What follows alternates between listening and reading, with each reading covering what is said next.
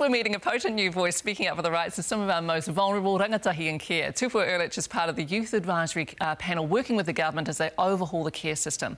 What makes Tupua's perspective even more powerful is that he's been in care himself. He says the Crown's promised change before but hasn't delivered, so he's working hard to ensure they do this time. Carmen Parahi reports. Sick and tired of hearing, um, you know, oh, there's this many in prison, there's this bullshit, you know. Do your job properly. Stop setting us up to fail and then blaming us for failing when you guys are letting us down, not us letting you down. 19-year-old Tupua Urlich spent 12 years in the care system. His parents failed him, and so did Child, Youth and Family, who took guardianship of Tupua when he was five years old. They're our parents, but they're just slack, slack parents. Okay?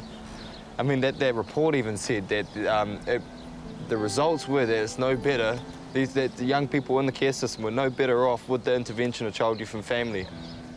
We're in the Dingwall neighbourhood in South Auckland. It's a trust set up in 1927 to help needy children. There are nine residential homes for kids in care and a transition service to help youth who are forced to leave the care system when they turn 17. They're vulnerable, they're most vulnerable, you know, they're young and they're, they're they're exposed to a lot of emotional um, trauma and, and, mental trauma. You know, that everything that happens to a young person, especially that young, they take it all in, and it affects them in certain ways. Tupua lost count of the number of homes he lived in while he was a state ward. But he has a place here at Dingwall, where he advocates for all children in care.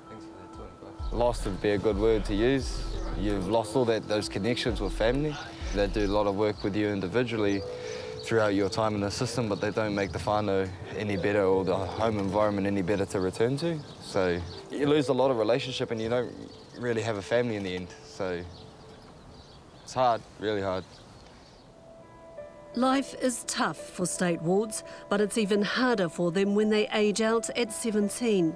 CYFS kids have dramatically worse outcomes as young adults compared to others. Tupua is lobbying the government to support children in care until they're 21. Some of the things that we have to deal with are homelessness, poverty, straight away, you know, instantly you're in poverty, um, welfare dependency and a life of crime. People say everyone has a choice of what they do. Hell no, not, not in this way. All you've done your whole life has just been fueled with this negative, uh, you know, negativity that pushes you down that path. Rejected by the system and their families, the teenagers struggled to control their lives. I became like angry, you know, toxic. I became a toxic person. And then you, you, get to, I got to a point where I was just sick of it, you know, so I tried to end my own life. I was abusing drugs, self-harming, and really hit the bottom, eh? And it was from there, it was either end my life or, or, or, sort my life out. And for me, well, you know, I mean, the issues that I had were too big for me to sort out by myself. But it's what happened to his friends that hurts Tupua the most. Three teenagers who left the care system, confused and rejected by everyone, committed suicide. Just changed, you know, just, just weren't the people that I used to know and um, distanced themselves away from everybody. Um,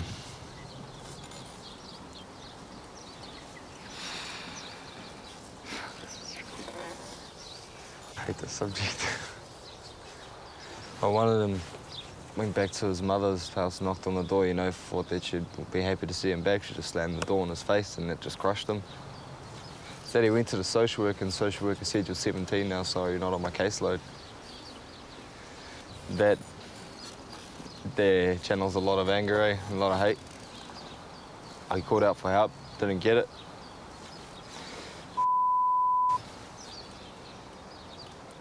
And that's just a young person, you know, crying out for help by a system that's supposed to care. Funny that. Yeah. Tupua received help and changed his life, but he's focused his anger on Parliament, where he's speaking to politicians on behalf of children in care you know, every child wants the same basic things, a safe, loving, stable home with nice people, good people, people who care about them, give them time. Come into my house. Pim, you and husband Shane are caregivers based at Dingwall. This is where I feed them all. our fun, happy, bad conversations happen. They look after six children in care. Four of them are Māori. When they first come in, that's what we always try to work on is gaining their trust and also them trying to trust us. Because once once they trust us and once we trust them, then everything else should fall into place. We're going through to our playroom. They just know that they're in a safe place. They know that me and Pam are people that would look after them and keep them safe. Pam and Shane aren't typical caregivers. They're young and not related to the children. This is our meeting room. It's such a rewarding job, what we do. You know, the smiles on their faces are a reward, and that's what we see every day. Security, when they just feel so safe, that's confirmation that there's love there. How important is culture to you for the kids? The Māori children that I have, I want them to have the experience of a marae, you know, the hangi, the food, um, going into rural places and, you know, because we hear a lot of my, the Māori children are talking about they're up north or down south, you know, they're iwi. And I want the children to have that experience. Just because we're Samoan, it doesn't stop us from wanting for them to learn that. Hmm. It's important. This is the courtyard where the kids play. And they play handball and ride their bikes. One child there. The government plans to stop multiple placements and keep a child in one home, even if they're not related to the caregivers. A little I like this one. This one's got a nice tidy bed. She's nice this type, is she? Yeah. But Tupua believes families should be helped too, so kids can return to a safe, loving home. Oh, She's amazing. Yeah. You've got to have that stability from the start. The idea of a placement for a certain amount of time, heck no, they're, they're kids. Put them somewhere stable, you know, they, they've got to learn to trust and get to know people. Tupua says society judges CYFS kids, labelling them while they're in care and when they leave, but doesn't take any responsibility for how the state looks after them. We all grow up in the system, and in a weird way, it, it, it, it becomes a part of our identity. And it's not just um, the way we were raised uh, in the home, it's the stigma from society. You know, everyone CYFS kids, trouble. Hey, they're just innocent children crying out for help in a way that not normal children do. You know, they're born victims of circumstances, yet they're treated like this, you know, the, the antagonisers and the people creating these issues. It's sad and it- it's stupid. These little four, five, six, seven, whatever year olds are responsible for putting them, their lives where they are, you know? Tupua will hold Child, Youth and Family to its promise to put children at the centre of their policies, where they should always have been. Because I'm new. My mum and dad kicked me out, and they're not good at looking after me. You know, I was quite naive and, and, aggressive towards social workers, caregivers, but then I actually realised, you know, the system isn't just failing young people, it's also failing caregivers and social workers. And um, I'd just like to say a big thank you to those people who are working in our, in our um, care service, you know, and properly providing for young people.